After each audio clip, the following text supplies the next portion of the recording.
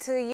You, my hot viewers, you are watching KBN TV on channel 102 on Topstar and channel 279 on DSTV.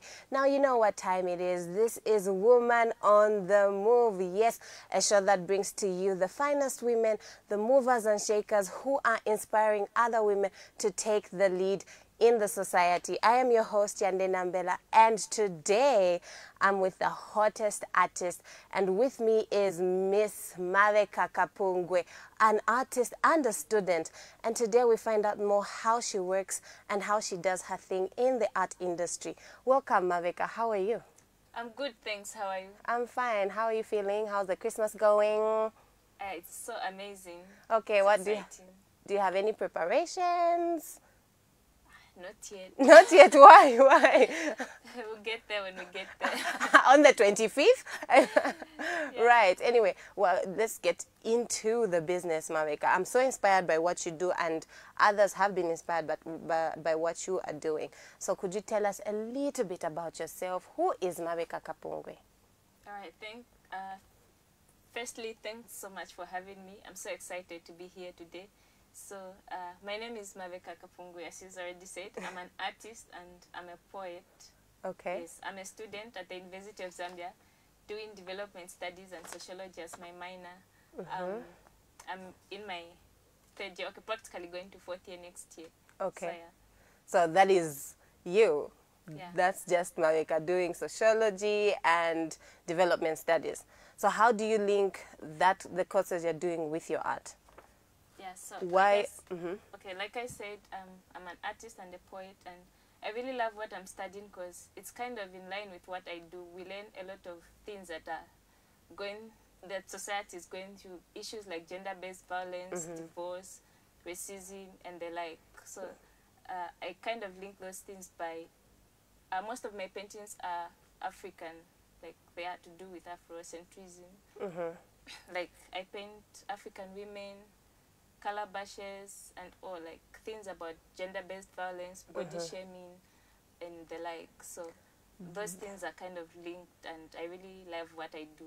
Right. So when did this desire for art begin? When did you realize that oh, I think I'm I'm in love with drawing. I'm in love with art and when did the desire for actually drawing um, things connected to gender-based vi- violence, to gender equality, racism, when did you feel that yes, this is what I'm drawn to? Okay, firstly, I started drawing way back, like in maybe let me say primary school, like on a Friday when we were having CTS, like. Mm. I don't know, my teachers would compliment me saying my works are looking nice. Like I didn't really realize that I was an artist by then. I used to be more creative. I used to draw simple things like flowers. Then afterwards in high school, actually after high school, that's when I discovered that oh, I can actually draw something that I can sell.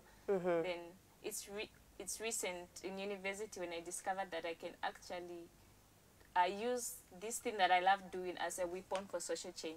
Right. So, uh, just as you have mentioned that you would actually make a living out of um, the artworks that you are doing, when, as, as a woman in the industry, especially now that it's not even common, how has that been for you? Because we've only heard that men are the ones who draw. We've never really seen women showcasing their art or coming to the front line and say, I'm an artist and this is what I'm going to do. So, how has that been knowing that? there are a few women in the art industry, or maybe we do not know that there are a lot of, you know, women in the art industry. What are your thoughts on that? Yeah, actually, we are few. There are very mm-hmm. few female artists that I've met, very few, and the few that I've met are amazing. But I think we need more women in the art industry because sometimes you tell someone I'm the one who did this, and they'll be arguing. They're like, no, a, ca- a girl can't, Can't do that. this, And, right. Yeah, I think it's time society let go of such notions and such thoughts because we are equal. Like, okay, we are, yeah, men and women can do this. We can all do art. That's what I think. So mm. women should step out. They shouldn't be felt. They shouldn't feel left out out there. They shouldn't be, you know, like suppressed and oh, we should shine our light. We should come out and do what we can because be it a man or a woman, art is for everyone. Right, and you've mentioned um, on how somebody wouldn't believe of the art that you're doing. So I'm sure that some challenges that you felt despite that very one that you have just mentioned. What are Yeah. some of the things you have faced that have really made you feel a bit unsure of maybe doing continuing with art or maybe how did you maneuver that particular challenge? Yeah. Okay. Mo- mostly, I feel like Zambians don't really appreciate art. Mm-hmm. Like you can. I remember when I was selling tickets for my first exhibition that I had last week. Uh, you'd find people are, their reaction wasn't that good for everyone. You find Mm. some, they're just disinterested. Like maybe you knock on a lecturer's door, like I'm having this event, and oh, they're just like no, no, no. Like it was so discouraging. Right. At times when I just wake up like I, I can't do this anymore. Mm. But it's just the passion that I have that keeps me going. But sometimes you find people discouraging you. You find others who discourage you.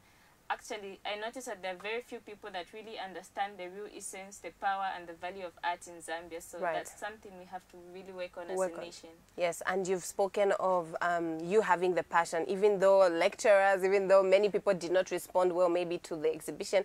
However, um, what does it really mean to you? I know it's passion, but what does it mean to you as Mabeka with your art? art means so much to me. For me, first, I think it's something that gives me peace. Like Right. I can fully express myself through art, Mm. and I can also address challenges that society goes through, like um, like racism Right. through art. I feel art is more than what we s- art is everywhere. I think everything that comprises society comprises of has a touch of art somewhere. Like I think art is just everything because you go to places. The clothes we wear is art. Right. The buildings we're in, they have to be fashioned in a certain, Certain way. way, That's right. art. Basically, everything is just art. I remember, Yeah. like when, yeah, everything is just art. And people should understand that art is what we are today. Everything we're wearing, as Ma- Mabeka is saying, is art. Our bandanas, our hair, everything is art. Even in the room we are in, it's art. It comes from somebody drawing the perspective of the design that you want. But um, going forward, why is it that um, guardians, parents may not help you pursue, let's say, your career in art because they feel maybe it's something that you cannot um, make a living out of? Why do you think the notion is still there? You know, when somebody, when a kid comes and says, "Oh, daddy, oh, mommy, I draw," and they'll be like, "Ah, wait, there's nothing you can do. There's nothing you can make of it." How did your family help you through your career? And if maybe others did not, how did you go through that? Yeah, that's actually a very interesting question because uh, growing up, I think you hear things like uh, art, tamwabe mpia muli art. Like, Yes. You can't make money through art in Zambia. That's what people believe. And even if like, even if like when I told my parents I would like to study art, they're like, no, like they just wouldn't agree. Right. Yeah, because it is believed that you can't make money through art. I think the notion is also coming from the part of society not supporting art, not understanding mm. art, and also. But on my part, I'm so grateful because my parents have been so supportive. My mom, my mm. dad, they would allow me to, they'd give me time to paint. Would allow me. You just know it's hectic. Like you have so much material, you have so much going on, and Mm. I'm just grateful that they, for the space they've alluded, like they've just given me my own space to paint. They've allowed me. They've given me time. They'd spare me of chores sometimes. They'd allow me to do what I want, and that's something I'm so grateful for. Right. And um, I think to the parents, let's continue inspiring, let's continue helping um, our children or other people to maneuver over um, careers that people think cannot be actually celebrated or they cannot do. Just like here, Miss Mabeka Kapungwe is an artist and she's being um, nominated or she's being allowed in a school like Unza to actually do her showcasing. So last week she did have an exhibition where she had Mr. Rosia Siatwambo, Mr. Fred M'membe, and many other people came to support her work. How did that go at the exhibition? Uh, it actually went well, better than I expected. I had Right. people coming to support, people came to see my works, and then uh, the exhibition was exciting because it wasn't only like visual arts, the paintings that I do. We also had portraits, we had poetry, we had dance, we had authors, we had African fashion design. We just put different forms of art together. Together. It was so exciting. Wow, and I feel um, this should be pushed more in, in Zambia to have these. I mean, we see a lot of um, events for art. We see jazz and coffee. They do have a bit of African um, paintings here and there. We also see some art exhibitions. But why is it that not many people understand the backstory of the art? Well, I think it's because of how we've been brought up and the notions that society has had.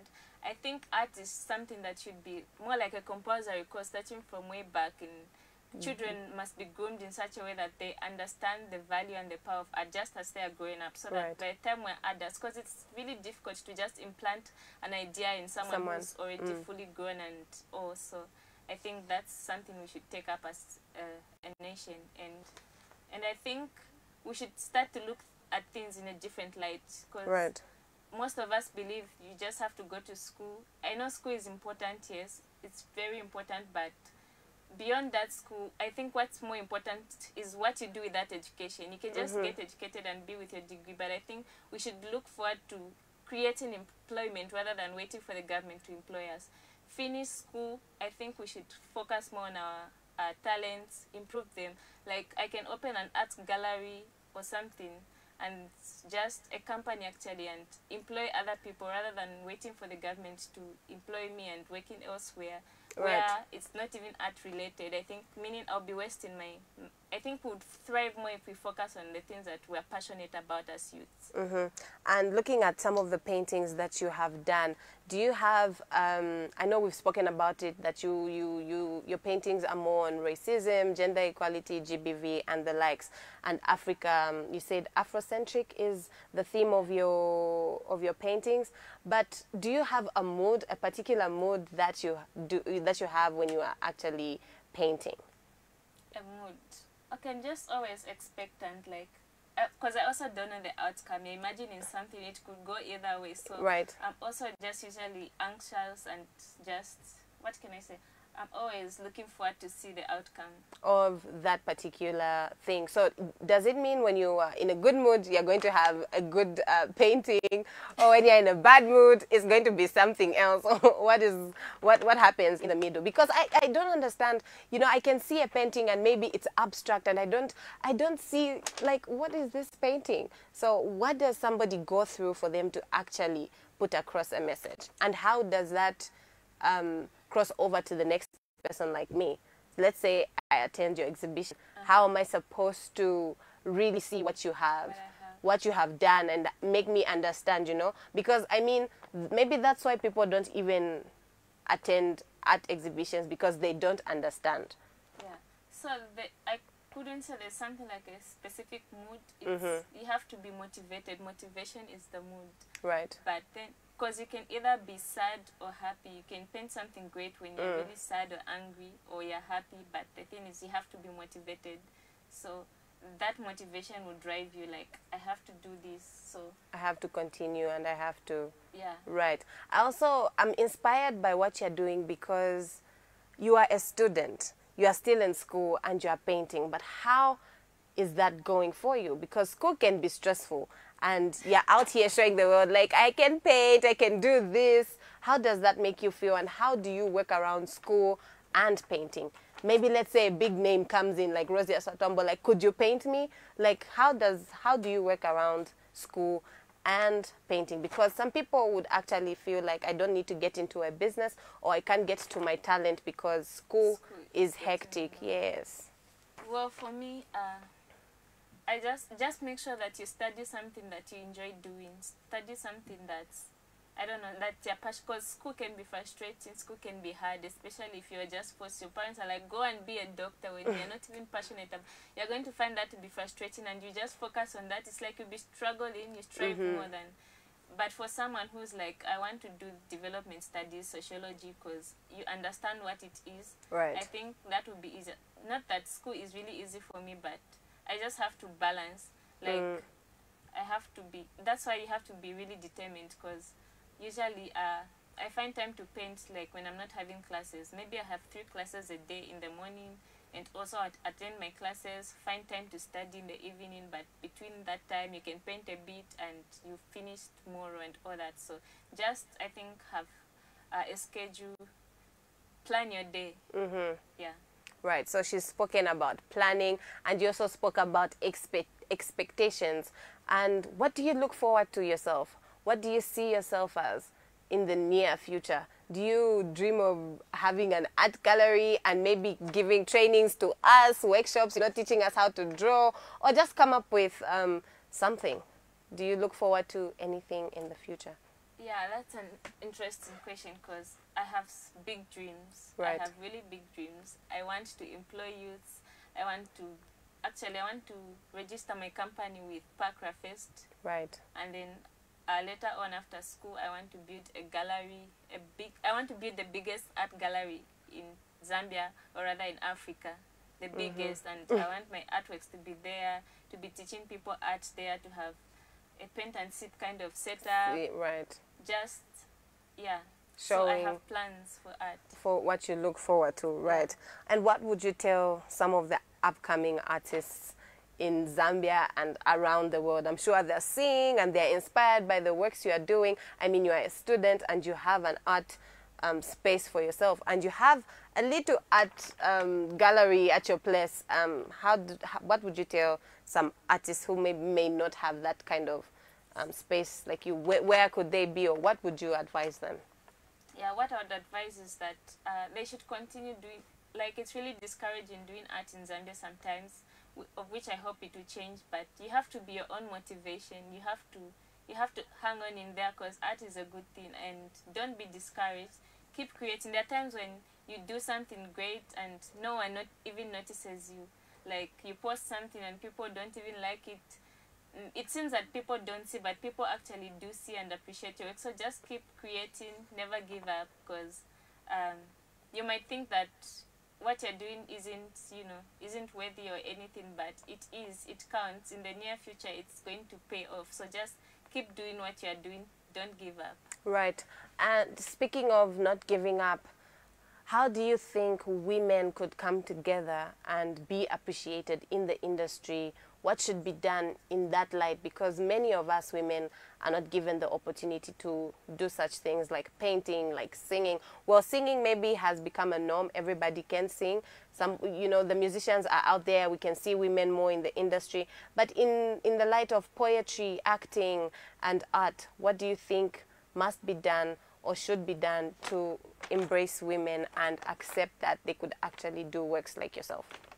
Yeah, I think we should be given more opportunities. Um, we should, the country should create more platforms where all these things can be showcased. We should support, like, because I remember when I was planning my exhibition, I was looking for sponsors and all, but there was just nothing available. I think we should have such things, like we should have the government at least sponsor such events and all, because, yeah, and then we should come together as women. We should support each. Uh, we should support each other, not bringing each other down. Down. Like, yeah, because most people, I don't know, on social media, people are just there, you know, pulling others down. Down. We can only rise when we join hands together. That's the only way we can build a better Zambia. And like, we only have each other as women, so we should learn to empower each other and support each other. Whenever you can, encourage someone, build someone up, let them know that you care. Right. Um, speaking of how you like women and the government should come together, um, what more should we do as um, individuals, as yourself? What do you think um, individuals should bring to the table first? You know, because sometimes maybe people have seen your work, but maybe we are not doing too much as a human being or as an individual in that particular space. Well, so, um, I think it's important first to work on yourself. mhm. That's because you are your biggest asset. I think that was the biggest takeaway I got from the exhibition and from Dr. Rezas' speech. He was Mhm. like, work on yourself because we like rushing as youths. You just want to rise to the top. But I think we should take much time in investing in ourselves, building connections, Mm. develop your skill, take your time, work on yourself, work on your speech, work on everything possible that you can work on as yourself so that when you are showing what you have to the world, they won't have a choice. They won't like reject you because you've taken years to build that thing. You have something worthy that you can bring to the table. Yes. Okay. And position yourself, build connections. Just, I think, position yourself out there so that when opportunities come, it will be easy for you to grasp. In, fa- in short, be ready. Yeah, just be ready. Like, set yourself. Like, even if opportunities are not there, at least be able to prepare yourself so that when mm-hmm. opportunities come, it will be easier for you to seize them. Right. If you are just joining us, this is a woman on the move, and we are concluding with Miss Mabeka Kapungwe, who is an artist and a student. Now, before we close, we would like to know where Mabeka is found, how we can actually purchase her paintings, where we can see them, and how much they are at the moment. So, before, as we conclude, would you tell us um, how much your products are, where we can find them, where we can see them, and just experience the art um, of Mabeka Kapungwe? Okay, so my paintings are usually found um, at Luxury Photography Studio Right. in Jasmine Mm-hmm. Yes, that's number nine.